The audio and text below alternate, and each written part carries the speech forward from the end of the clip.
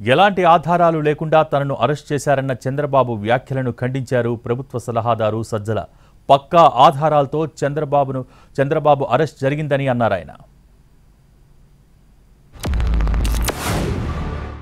ఈరోజు ఈ ప్రజా సమస్యల పైన పోరాడుతూ ఉంటే నన్ను అరెస్ట్ చేసి జైల్లో పెట్టాలని చెప్పి ఉద్దేశంతో తీసుకుపోతున్నారంటే చాలా బాధాకరం.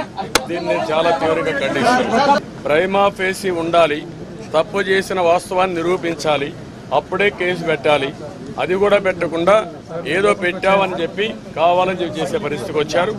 ఎవరి దబాయిస్తావు రెండు వేల పదిహేడు పద్దెనిమిదిలోనే GST director general GST intelligence central government agency Pune వాళ్ళ ఇన్వెస్టిగేషన్లో రెండు వంద దీనికి సంబంధించి నువ్వు రిలీజ్ చేసిన నీ ప్రభుత్వం అంటే చంద్రబాబు నాయుడు ప్రభుత్వం అన్యాయ అక్రమంగా రిలీజ్ చేసిన మూడు వందల డెబ్బై కోట్లలో రెండు వందల నలభై ఒక్క కోట్లు డైవర్ట్ అయింది. అది షెల్ కంపెనీస్ ద్వారా పోయింది. వాళ్ళు ఏదో టీడీఎస్ దీంట్లో పట్టుకున్నట్టున్నారు ఎక్కడో.